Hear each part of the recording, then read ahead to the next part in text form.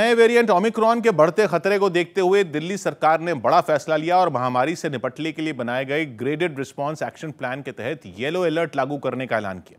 मुख्यमंत्री अरविंद केजरीवाल ने राजधानी में येलो अलर्ट लागू करने की जानकारी दी, यानी ओमिक्रॉन से निपटने के लिए पाबंदियों को और सख्त कर दिया गया, जिसके तहत दुकानें और मॉल सुबह 10 से रात आठ बजे तक ऑड इवन के आधार पर खुलेंगे और मेट्रो और बसें 50 प्रतिशत क्षमता के साथ चलाई जाएँगी। जबकि साप्ताहिक बाज़ार एक जोन में केवल एक खुलेगा, जिसमें 50 प्रतिशत दुकानदारों को ही छूट होगी।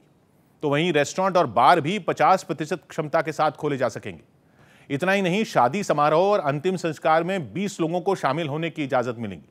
हालाँकि धार्मिक स्थल खुले रहेंगे, मगर श्रद्धालुओं की एंट्री पर पाबंदी रहेगी। इसके अलावा सिनेमा घर, मल्टीप्लेक्स और जिम बंद रहेंगे, लेकिन सलोन खुल सकेंगे।